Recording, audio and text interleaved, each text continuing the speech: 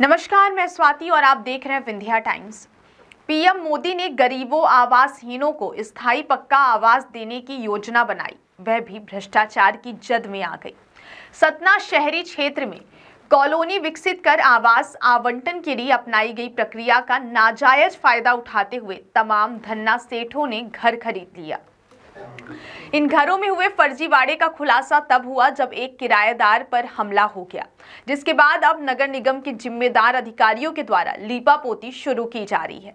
सतना शहर के वार्ड क्रमांक 45 में रहने वाले आवासहीनों के लिए उतैली और कृपालपुर में कुल 2712 आवासों का निर्माण एक करोड़ की लागत से कराया गया। यह आवास उन लोगों को दिए जाने थे, जिनके पास शहर में ज़मीन का कोई टुकड़ा और उनके पास कोई पक्का घर भी नहीं था। इस बीच नगर निगम के द्वारा की गई आवंटन प्रक्रिया में नगर निगम के पूर्व पार्षद, उनके नजदीकी रिश्तेदार, तमाम व्यापारियों को आवाज़ दे दिया गया।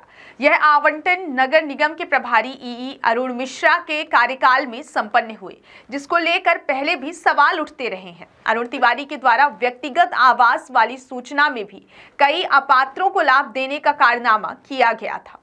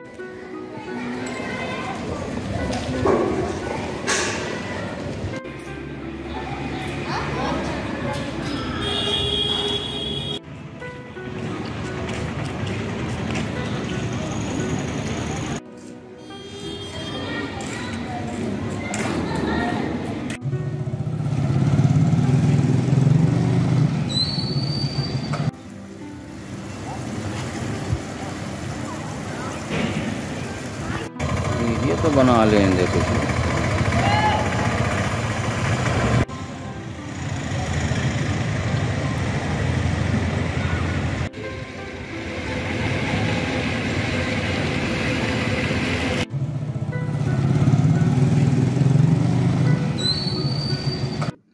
पीएम आवास में मेरे पास जो जानकारी प्राप्त हुई है, कुछ लोगों ने कंप्लेन की है कि वहाँ पर कुछ ऐसे लोग रहे हैं जिनके पास गाड़ियाँ हैं और संपन्न लोग हैं, उन्होंने गलत तरीके से अलाटमेंट कराया है।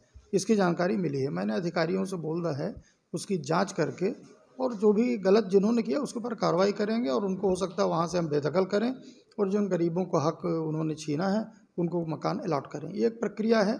उस प्रक्रिया के तहत मैंने कार्रवाई करवा रहा हूँ।